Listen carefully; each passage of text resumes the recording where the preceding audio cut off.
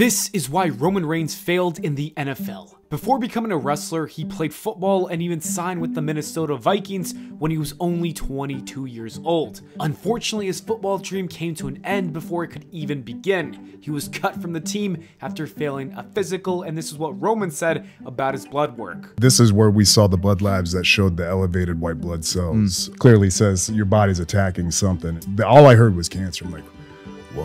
He was diagnosed with leukemia for the first time.